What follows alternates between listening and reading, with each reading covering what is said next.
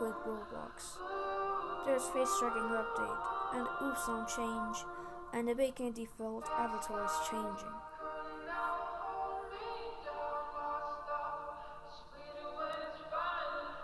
I I I just gotta quit Roblox. Thank you all to my best friends for the happiest times. Thank you all my friends for the happiest times that I have. Thank you my two besties, Nico, Robert, Ellen, and Joey for the for the happiest times of the year I started Roblox. Thank you for the happiest times that we had, my friends.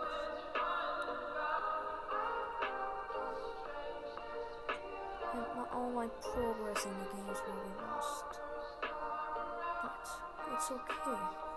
I'll just get I'll just get the new items.